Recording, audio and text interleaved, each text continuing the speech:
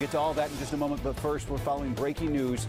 It appears in the past 20 minutes, former Charlotte Mayor Patrick Cannon has indeed arrived at a federal prison in Morgantown, West Virginia, to turn himself in to begin his 44 month prison sentence. Let's get right to NBC Charlotte's Rad Berky, who's live there in West Virginia with the very latest. Rad, what have you seen?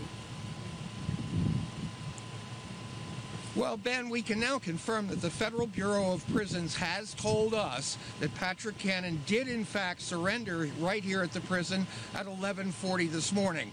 It's a little hard for us to see what happened, but let's go right to the video and we'll show you. What you are going to see is a black SUV pull up to the guardhouse there.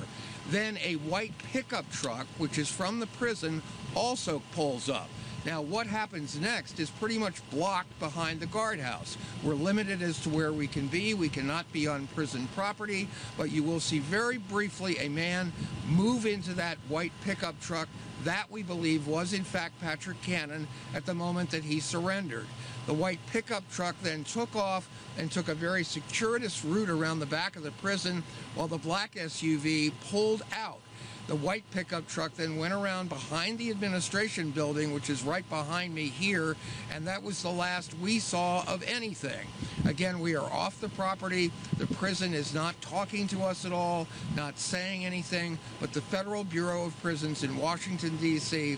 has now confirmed to us that former Mayor Patrick Cannon did in fact turn himself in here about 20 minutes ago.